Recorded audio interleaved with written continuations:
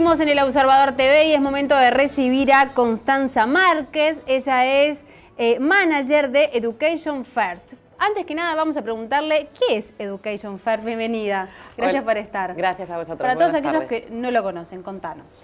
Pues Education First es una eh, empresa dedicada a la educación de idiomas, a la formación de idiomas, que lleva unos 50 años, vamos, de hecho estamos celebrando este año el 50 aniversario de la empresa eh, y nos dedicamos a enseñar idiomas en los países en los que se hablan. Tenemos 42 escuelas repartidas por todo el mundo y nos llevamos a, distintas, eh, a las personas de distintos países a estas escuelas, eh, duraciones de dos semanas a un año, a perfeccionar y aprender idiomas. ¿Y cómo surge esta idea de, de enseñar inglés ya no en el salón de clase un ratito, sino de llevar a la persona al lugar este, como intensivo, ¿no? Eh, la idea surge cuando Bertil Hult, que es el, dueño, la persona que empezó, la empresa, un sueco, eh, se lleva un grupo de suecos a Bournemouth, en, Inglaterra, y comprueba que eh, de todo el tiempo que habían estado a lo mejor dando clases en su país nativo, van allí y todo eso se pone en la práctica, se potencia y se aprende mucho más estando en el lugar donde se habla. ¿no? Y Bertil vuelve a Suecia y decide empezar esta aventura de empezar a exportar gente para, para, estudiar idiomas. ¿Y cualquier persona puede participar? Sí, por supuesto. Esto no tiene, es decir, va desde principiantes hasta niveles avanzados y gente que quiera perfeccionarse profesionalmente o en alguna temática concreta. No tiene ningún límite tampoco. A partir de los ser mayor de edad?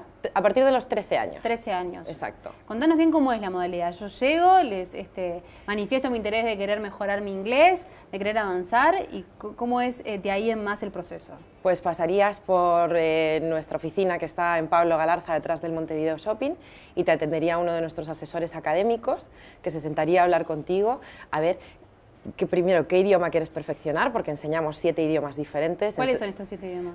Eh, inglés, por supuesto, alemán, francés, italiano, chino, japonés y español para la gente que no es hispanohablante. Bien.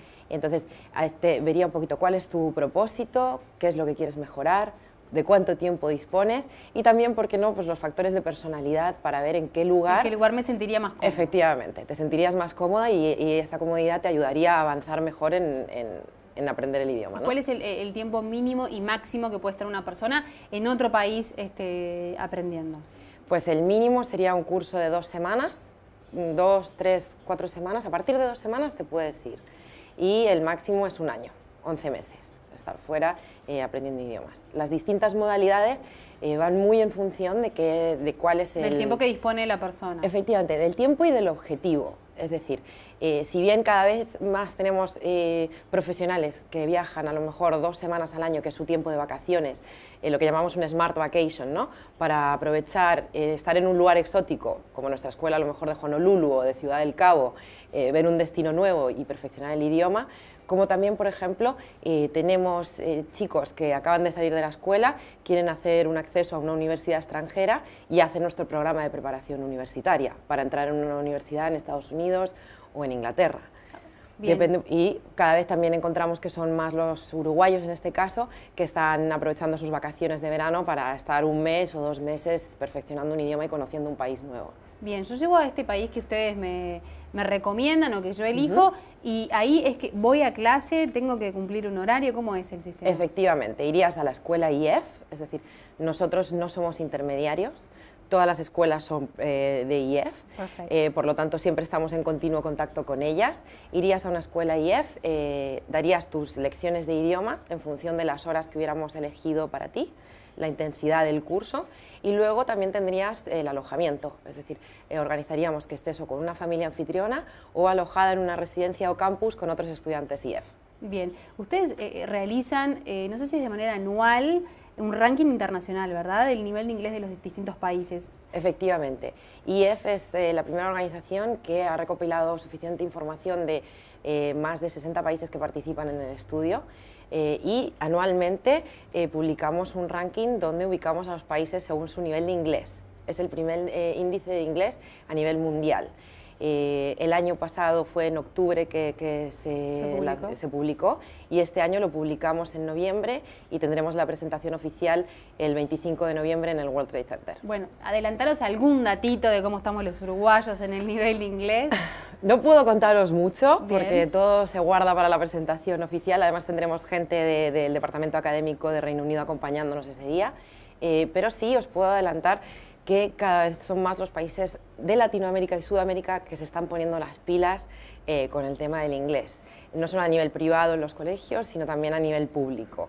Eh, y bueno, Uruguay anda por ahí. Por o sea que alguna pista que hemos mejorado un poquito. ¿Cómo, cómo, se, cómo se hace este, este, estudio? ¿En base a qué? Nosotros eh, realizamos a través de nuestra página web y también ofrecemos a empresas, colegios, universidades el medir el nivel de inglés de sus estudiantes o empleados.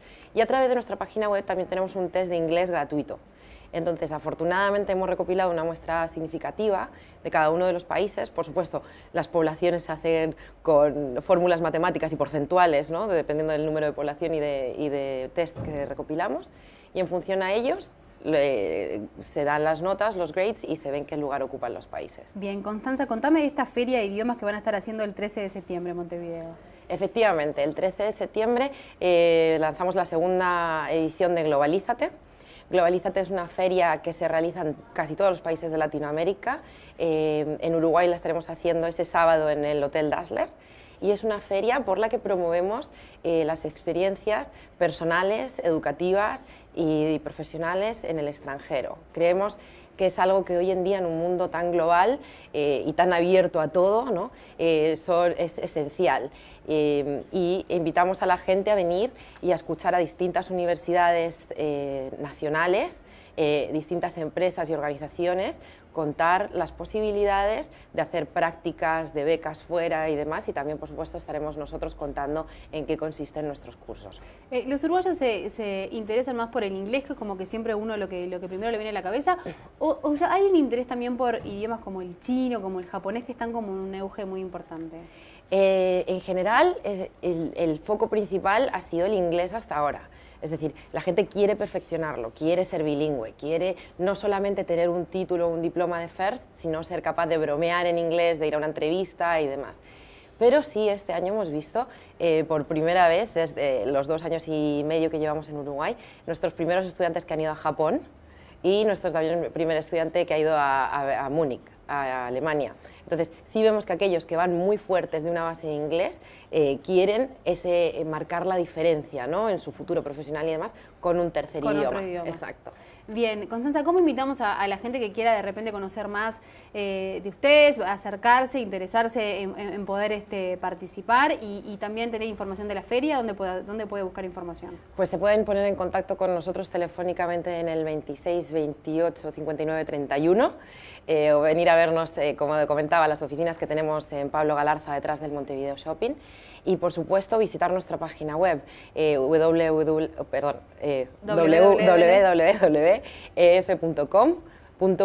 o eh, www.globalizate.ui, que es la web de la feria. La feria tendrá entrada gratuita y desde aquí invitamos a todo el mundo a acercarse, por lo menos a ver un poco la iniciativa. ¿Es, ese único día o va a estar algunos días? Es solamente el sábado. Solamente el sábado, así que atente a no dormirse pues, el sábado. Exacto. La oportunidad. Muy bien, Constanza, muchísimas gracias. Gracias a vosotros. Un placer tenerte aquí en el. Muchas gracias.